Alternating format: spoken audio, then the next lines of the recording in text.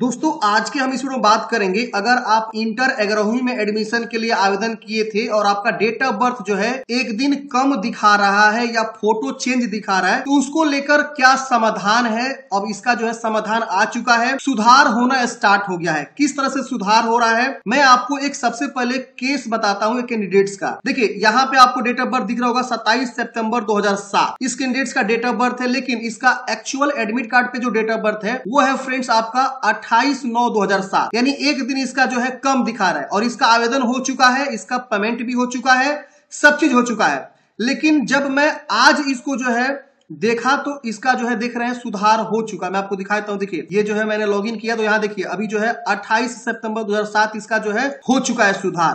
तो ये कैसे सुधार हो रहा है, इसका क्या प्रोसेस है, आज के हमारा टॉपिक है। और साथ ही साथ दूसरा टॉपिक ये है कि जिनको भी यूज़र आईडी पासवर्ड नहीं मिला है वो यूज़र आईडी पासवर्ड कैसे प्राप्त करेंगे? अगर उनको जो है अप्लीकेशन नंबर पता है तो। जी हाँ दोस्तों, आप बहुत ही आसानी तरीके से आप जो है यहाँ पे नॉट ओटीपी रिसिप्ट पे क्लिक करके यहाँ पे अप्लीकेशन नंबर डाल के आप जो है पता कर सकते हैं। लेकिन यहाँ पे भी आप लोगों को दिक्कत हो रहा है, दिक्कत ये हो रहा है कि यहाँ जब आप एप्लीकेशन नंबर लिख रहे हैं ना, इस प्रकार से, देखिए मैंने लिखा हुआ तो लिख रहा है कि a not valid application number तो इसका भी समाधान आ चुका है। बहुत ही घासू ट्रिक है। मैं आपको बताने वाला हूँ। तो वीडियो को पूरा लास्ट तक देखिए और समझिए सारी इंफॉर्मेशन को। सबसे पहला जो प्रॉब्लम है फ्रेंड्स अगर आपका फ़ोटो या जो है डेट ऑफ़ बर्थ में कुछ भी गलती हो जा रहा है फॉर्म भरते समय आप सारा चीज़ सही भर रहे हैं। फ़ोटो भी सही अपलोड कर रहे हैं डेट ऑफ़ बर्थ भी सही आप चूज़ कर रहे हैं। और आपका जो डेट ऑफ़ बर्थ है, वो एक दिन कम होके जो है प्रिंट आउट में निकल रहा है। तो इसका एक ही उपाय है फ्रेंड्स आप फॉर्म भर दिए हैं तो आप क्या करिए, दो दिन, तीन दिन वेट कर लीजिए। मैक्सिमम 24 घंटा में हो जा रहा है बदलाव, लेकिन दो दिन, तीन दिन आप वेट करिएगा और वेट करके जब आप यहाँ पे लॉगिन करिएगा ना, यहाँ पे देखिए स्टूडेंट लॉगिन का ऑप्शन मिलेगा, यहाँ अपना मोबाइल नंबर पासवर्ड आपको मिला ही होगा। इसको भर के जैसे आप लॉगिन करेंगे और जब आप प्रिंट पे जाएँगे ना यहाँ पे स्टूडेंट इंफॉर्मेशन पे या यहाँ पे कॉमन अप्लीकेशन फॉर्म पे तो आपका यहाँ पे देखेंगे तो डेट ऑफ़ बर्थ आपका सुधरा हुआ मिलेगा। और फ़ोटो भी आपका ही दिखाएगा। ये सर्वर के प्रॉब्लम की वजह से जो है फ्रेंड्स, ऐसा प्रॉब्लम आ रहा था, लेकिन अब जो है सबका ठीक हो जा रहा है। तो किस तरह से ठीक हो रहा है? तो आपको कुछ भी नहीं करना है। मान लीजिए आपने फॉर्म भर दिया, आपका फ़ोटो कुछ अलग आ गया है, या डेट ऑफ़ बर्थ कुछ अलग आ गया है तो आपको बिल्कुल टेंशन नहीं लेनी है। एक दिन, दो दिन वेट करना है और दोबारा से आपको लॉग करना है। लॉगिन कहाँ से करेंगे? तो एक बार और मैं बता देता हूँ। आप आ जाएँगे होम पेज पे ओएफएसएस की वेबसाइट पे।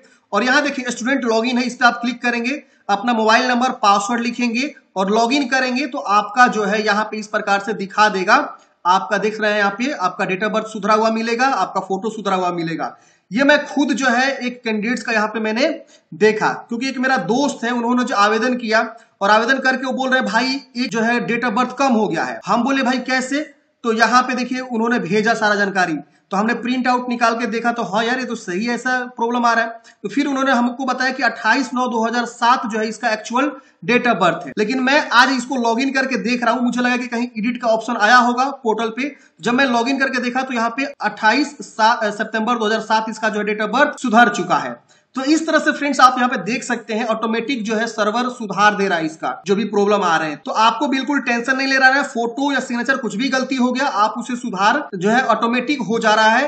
ये आपको बिल्कुल घबराने वाली बात नहीं है। अब हम बात करते हैं कि अगर आपने आवेदन किया और आपका जो है एप्लीकेशन नंबर मिल गया ओटीपी नहीं प्राप्त हुआ यूज़र आईडी नहीं प्राप्त हुआ, उसका क्या उपाय है? देखिए, आप इसी वेबसाइट पे आएँगे, यहाँ पे एक ऑप्शन मिल रहा है जहाँ से आप फॉर्म भर रहे हैं, उसके बगल में मिल रहा है कि fill but not OTP received OTP received नहीं हुआ है, आपने फॉर्म भर दिया है तो आप इस पे क्लिक करेंगे और यहाँ पे अपना अप्लीकेशन नंबर लिखेंगे। जैसा अप्लीकेशन नंबर लिखेंगे तो यहाँ लिख रहा है कि वैलिड अप्लीकेशन नंबर नहीं है। तो इसके आगे आपको जो है तीन ज़ीरो लगाना है। इसके बावजूद भी नहीं हो रहा है तो एक ज़ीरो और बढ़ा देना। देखिए, एक ज़ीरो मैंने बढ़ाया और ऑटोमेटिक यहाँ पे जो है ये वाला एरर हट गया। तो आपको इस तरह से ट्राई करना है। मतलब ट्रिक ये है कि जो आपका आवेदन संख्या आवेदन संख्या लिखेंगे और आगे जो है तीन ज़ीरो लगा देंगे या चार ज़ीरो लगा देंगे ना तो आपका ये वाला एरर ऑटोमेटिक हट जाएगा। देखिए, एक बार और दिखा रहा हूँ, मैं ज़ीरो हटाया। ये देखिए, लिख दिया ना कि ये जो है वैलिड नंबर नहीं है, लेकिन मैं यहीं पे जो है एक, दो, तीन, चार ज़ीरो बढ़ा दिया ऑटोमेटिक हट गया। किसी किसी में तीन ज़ीरो पे भी यहाँ पे हट जा रहा है एरर अब जो मोबाइल नंबर आपको डाले थे भरते समय फॉर्म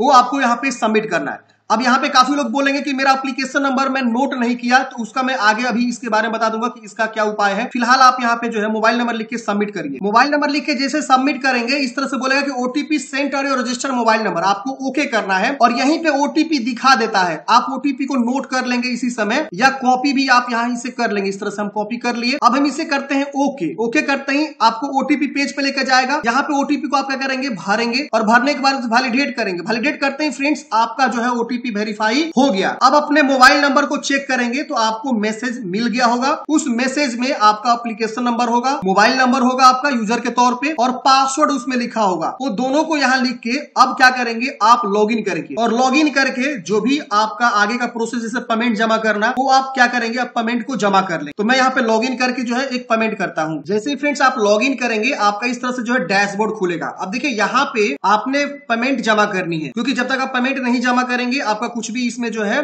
सक्सेस नहीं होगा और आपका एडमिशन नहीं हो पाएगा। ठीक है ना?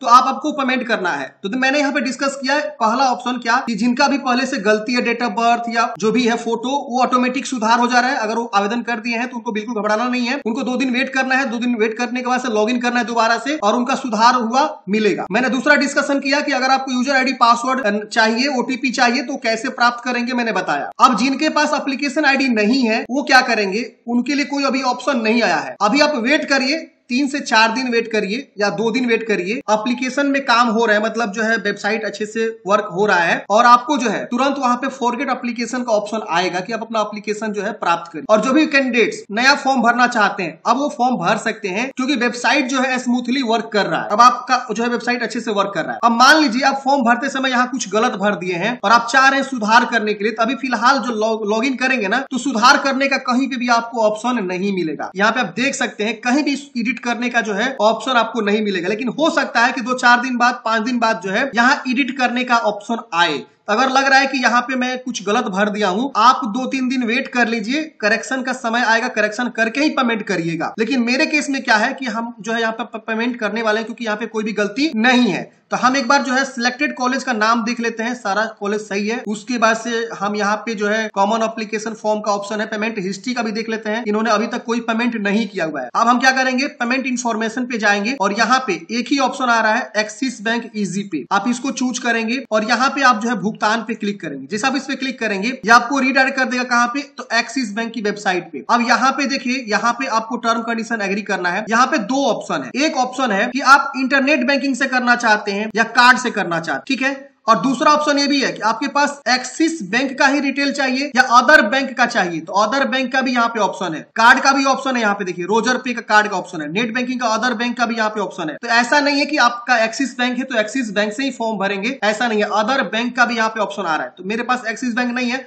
जिसके पास एक्सिस बैंक है इजिली यहाँ पे क्लिक करेगा, वो जो है नेट बैंकिंग पे चला जाएगा और नेट बैंकिंग से पेमेंट जमा कर सकता है। कार्ड का भी ऑप्शन है। अगर वो एक्सिस बैंक का कार्ड रखा है तो रोजर पे का ऑप्शन खुलेगा और जो है कार्ड पेमेंट कर सकता है। लेकिन यहाँ पे मेरे पास नेट बैंकिंग है तो हम यहाँ पे अदर बैंक रोजर पे पे क्लिक करेंगे तो हमारा जो है अदर बैंक का ऑप्शन आएगा। देखिए, यहाँ पे आ रहा है। काफ़ी सारे लोग बोल रहे थे पेमेंट करने में दिक्कत हो रही है तो यहाँ देख लीजिए, हम अदर बैंक से पे कर रहे हैं। अब यहाँ पूछ रहा है कि इसमें से कौन सा बैंक है? वो अगर है तो चूज़ करें, नहीं तो डिफरेंट बैंक है तो हम यहाँ एस का भी, या स्टेट बैंक भी यहाँ पे आपको आएगा, ठीक है ना? तो हम यहाँ स्टेट बैंक भी यहाँ चूज़ कर लेते हैं देख लेते हैं एसबीआई भी आ सकता है। यहाँ कुछ लिमिटेड बैंक का नाम आ रहा है फ्रेंड्स यहाँ आप देख सकते हैं एसबीआई का मेरे को नहीं दिख रहा है यहाँ पे। बाकी सब कई सारे बैंक है यहाँ पे एचडीएफसी भी है पीएनबी भी है। काफ़ी सारे बैंक यहाँ पे आपको देखने को मिलेंगे। यस बैंक है। अच्छा यहाँ पे भी बैंक ऑफ़ बड़ोदरा है आईसीआईसी भी है। तो कुछ लिमिटेड बैंक है जो आपको थोड़ा सा एक्स्ट्रा फ़ी काटेगी। हम यहाँ पे जो है बैंक से क्या कर सकते हैं? लॉग करके जो है पेमेंट को जमा कर सकते हैं। हम यहाँ पेमेंट जमा कर लेते हैं। पेमेंट जमा करने के बाद फ्रेंड्स इस प्रकार से देखिए आपका जो सक्सेस दिखा देगा इस तरह से। जब तक इस तरह से सक्सेस नहीं दिखाएगा, तब तक आपको नहीं समझना है कि मेरा जो है पेमेंट सक्सेस हुआ है। यहाँ सक्सेस दिखा दिया ट्रांजेक्शन नंबर दिखा दिया। यहाँ प्रिंट पेमेंट स्लिप का भी ऑप्शन है। आप इस पे क्लिक करके इसका भी प्रिंट आउट निकाल लेंगे। और इसके बाद से आपको जो है कॉमन अप्लीकेशन फॉर्म पे क्लिक करके आप इसका भी प्रिंट आउट निकाल लेंगे। तो ये था फ्रेंड्स फुल प्रोसेस अगर आपके मन में और भी कोई डाउट है कमेंट है कमेंट बॉक्स में पूछ सकते हैं। मिलते हैं फ्रेंड्स किसी नेक्स्ट वीडियो में। हमें दीजिए इजाज़त। आपके मन में कोई भी सवाल है क्वेश्चन है, आप कमेंट बॉक्स में पूछिए और वीडियो को ज़्यादा ज़्यादा शेयर करिए ताकि काफ़ी लोगों को ये प्रॉब्लम का जो है सामना कर रहे हैं तो उनको भी ये प्रॉब्लम का